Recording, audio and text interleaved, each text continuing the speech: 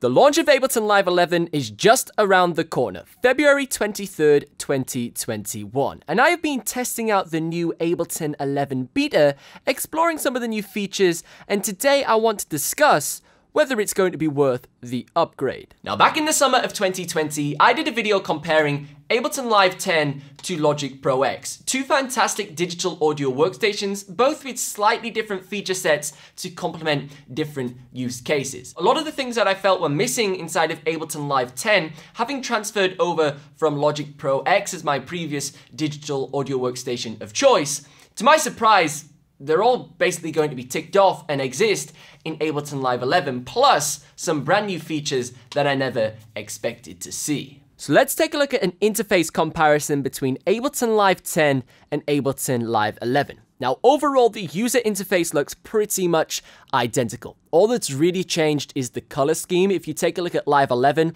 the colors have changed ever so slightly to Ableton Live 10.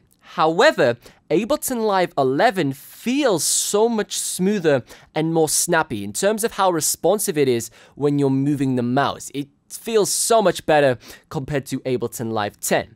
Now we do have some new and improved CPU monitoring in the top right corner. Now this new CPU monitoring gives us two options for both the current CPU usage and also the average CPU usage across our entire project, just so you know if you are overloading the processing power on your actual system. Now, something that's a major change is the new scenes in Ableton Live 11. Now, obviously in Ableton Live 10, we had the ability to rename a scene. We could also dictate what tempo that scene ran at and also the time signature by writing those values in brackets in the actual scene launch. Ableton Live 11, we have it in a much nicer layout. You can rename the actual scene, then you have a specific box to dictate the tempo of the scene, and then also a box to dictate the actual time signature, which is much tidier. Something about it looks way nicer, easier to set up, and much cleaner. Now, a major new feature inside of Ableton Live 11 for me personally is now the ability to comp audio tracks and also linked track editing.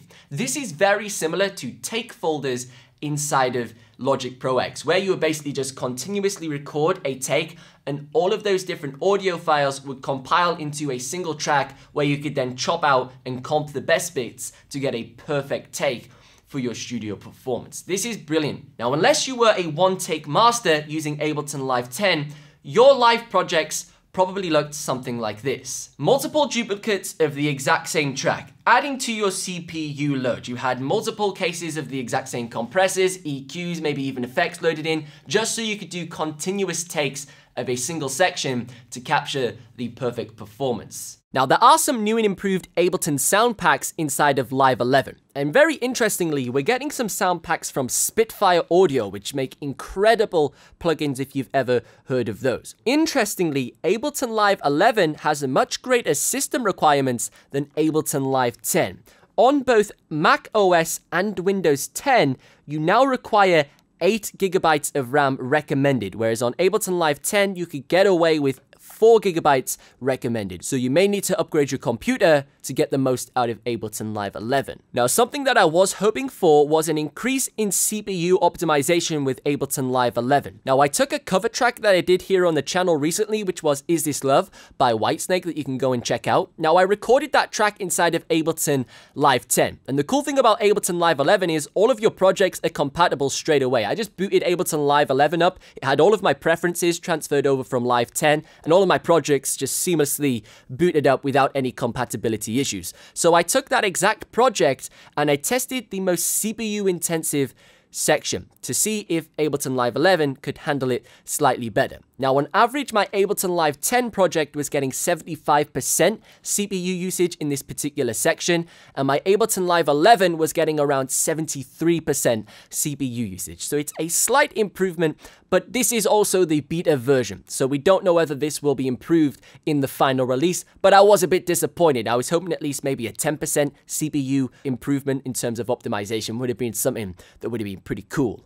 Now, a final feature that's definitely worth mentioning inside of Live 11 is the new tempo follow. Now, obviously in previous versions of Ableton, we have had the ability to sync Ableton's tempo in a variety of different ways. We could sync Ableton to an external MIDI device, or we could sync the external MIDI devices to Ableton's BPM and create quite a comprehensive setup.